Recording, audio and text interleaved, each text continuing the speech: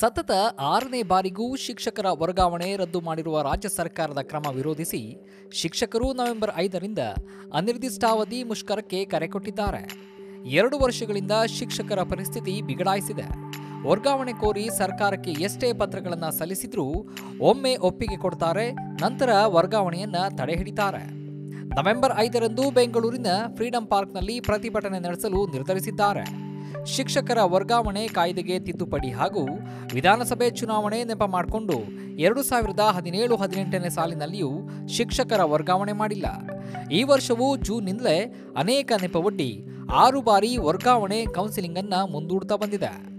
ಈಗ ಶಿಕ್ಷಣ ಖಾತೆ ತಮ್ಮ ಬಳಿಯೇ ಇಟ್ಕೊಂಡಿರುವ ಕುಮಾರಸ್ವಾಮಿ ಅವರೇ ಎರಡು ಸಾವಿರದ ಹತ್ತೊಂಬತ್ತರ ಮಾರ್ಚ್ವರೆಗೂ ಶಿಕ್ಷಕರ ವರ್ಗಾವಣೆ ಸಂಬಂಧ ಇಲಾಖೆ ಕಳೆದ ಹತ್ತು ತಿಂಗಳಿಂದಲೂ ನಡೆಸಿದ ಕಸರತ್ತು ವ್ಯರ್ಥವಾದಂತಿದೆ. ಸೆಪ್ಟೆಂಬರ್ ಅಂತ್ಯದ ವೇಳೆಗೆ ಇಲಾಖೆಯು ಪ್ರೌಢಶಾಲಾ ಮುಖ್ಯ ಶಿಕ್ಷಕರ ವರ್ಗಾವಣೆ ಪ್ರಕ್ರಿಯೆ ಪೂರ್ಣಗೊಳಿಸಿತ್ತು. ಈ ವೇಳೆ ರಾಜ್ಯಾದ್ಯಂತ ಒಟ್ಟು ನೂರ ಮೂವತ್ತೇಳು ಪ್ರೌಢಶಾಲಾ ಮುಖ್ಯ ಶಿಕ್ಷಕರನ್ನ ವರ್ಗಾಯಿಸಲಾಗಿತ್ತು. ಈಗಾಗಲೇ ಬಹುತೇಕ ಶಿಕ್ಷಕರು ಸೇವೆಯಿಂದ ಬಿಡುಗಡೆಯಾಗಿ ವರ್ಗಾವಣೆಗೊಂಡ ಸ್ಥಳಕ್ಕೆ ಕಾರ್ಯನಿರ್ವಹಿಸುತ್ತಿದ್ದಾರೆ. ಹಾಗಾಗಿ ವರ್ಗಾವಣೆಗೊಂಡಿರುವ ಪ್ರೌಢಶಾಲಾ ಮುಖ್ಯ ಶಿಕ್ಷಕರಿಗೆ ವರ್ಗಾವಣೆ ವಿನಾಯಿತಿ ಇರೋದಿಲ್ಲ.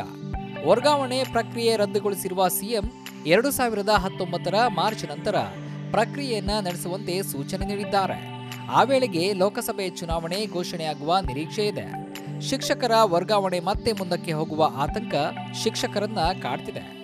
ಹೀಗಾಗಿ ವರ್ಗಾವಣೆ ಪ್ರಕ್ರಿಯೆಯನ್ನ ಶೀಘ್ರವೇ ಪೂರ್ಣಗೊಳಿಸುವಂತೆ ಶಿಕ್ಷಕರು ಒತ್ತಾಯಿಸಿದ್ದಾರೆ.